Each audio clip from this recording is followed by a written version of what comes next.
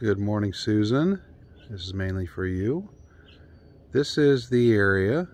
Let me get back where you can see all of it. And this is north, so west by the shed, but so I'm looking east. So this will get afternoon sun. And this is the area that we want to put